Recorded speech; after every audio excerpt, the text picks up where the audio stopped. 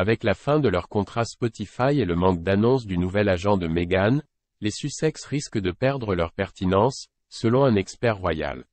Le prince Harry et Meghan Markle ne sont peut-être plus le ticket chaud des dirigeants des médias et du grand public, car les gens commencent à se désintéresser de ce qu'ils ont à dire, a déclaré un expert.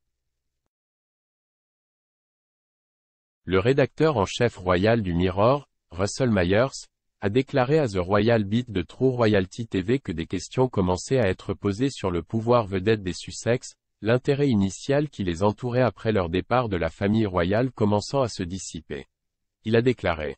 Le problème pour Meghan et Harry est, les gens sont-ils intéressés par ce qu'ils ont à dire? Ce n'est pas seulement le grand public, c'est aussi les cadres qui travaillent pour ces grandes entreprises, de médias. Sont-ils plus populaires? Il a été annoncé le mois dernier que l'accord de plusieurs millions de livres entre Spotify et Archewell Audio, propriété du duc et de la duchesse, avait pris fin après une seule série d'archétypes de podcasts de Meghan. Cathy Nicole, rédactrice royale de Vanity Fair, a déclaré à l'émission, J'entends depuis un moment des grondements de mécontentement chez Netflix à propos du contenu.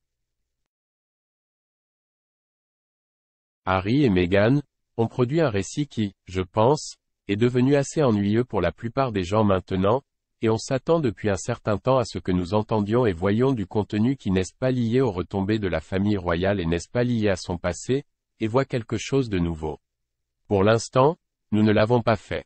Le couple tient toujours son accord avec Netflix, avec leur nouveau documentaire Art of Invictus qui devrait sortir sur la plateforme en août.